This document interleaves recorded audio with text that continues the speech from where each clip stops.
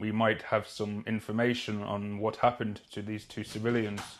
Throughout the past couple of weeks after this, uh, the odd civilian would come by and they would be forcibly told to leave until eventually they started arresting anyone that would come onto the territory, even if it was just simple mistaken or, or they were lost, they would uh, take them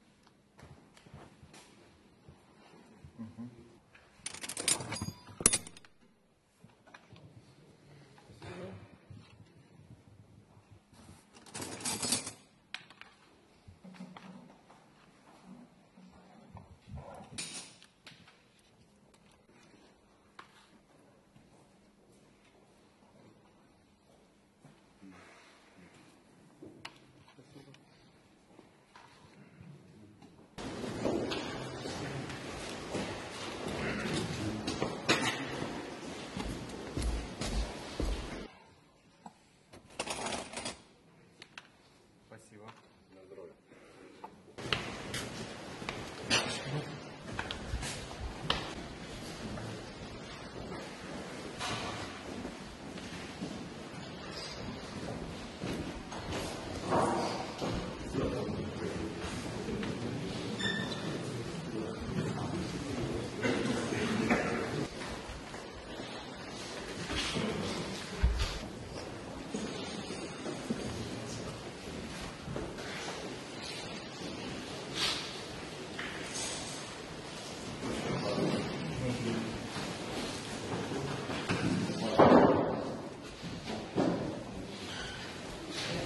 Ну,